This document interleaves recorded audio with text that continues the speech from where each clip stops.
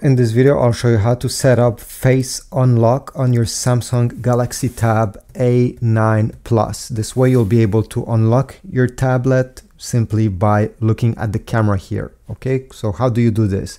You need to open the settings on your tablet. If you don't see the settings app here, simply drag up and uh, over here it should be somewhere. Here we go, settings, tap on it. Once settings is open, you're gonna go over here on the left side and if you're holding your tablet this way, it's the same thing. It's on the left side as well. Until you see security and privacy, this icon, tap on it. Then go down and tap biometrics. Then tap on face recognition. It should be the first option here.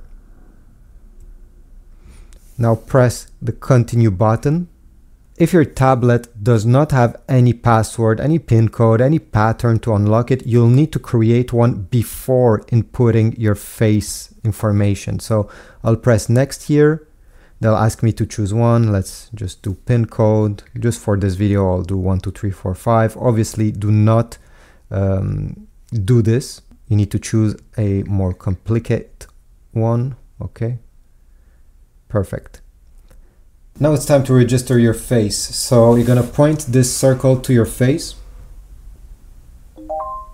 Okay, you're gonna get a green check mark and it's very quick. Did you notice? It only took like a second.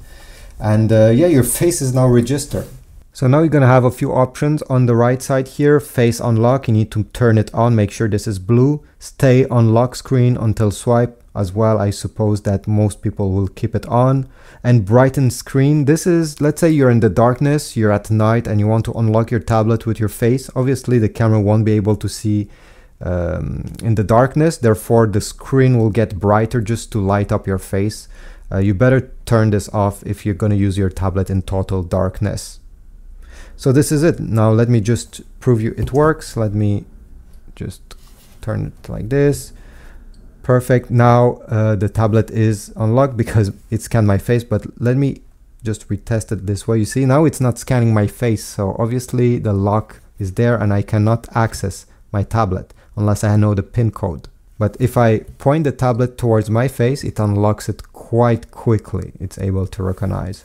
So this is it. This is how you do this and uh, yeah it only takes a few minutes. Please leave a comment down below subscribe and I'll see you in the next video